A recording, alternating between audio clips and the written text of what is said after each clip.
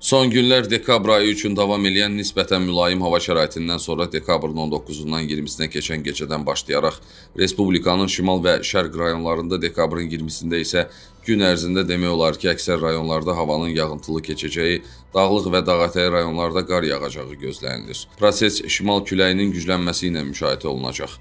Həm Respublikanın rayonlarında, əsasən Kür vadisi rayonlarında, eyni zamanda Bakıda və Abşeron yarımadasında bu axşamdan başlayaraq şimal-qərb küləyinin saniyədə 15-20, gecəyə doğru isə 25 metrə qədər güclənməsi proqnozlaşdırılır. Sabah gün ərzində bəzi yerlərdə küləyin maksimal sürəti 30-33 metr saniyəyə qədər artacaq. Muğan TV xəbər verir ki, bunu Milli Hidrometeorologiya Xidmətinin rəisi Umayra Tağıyeva deyib.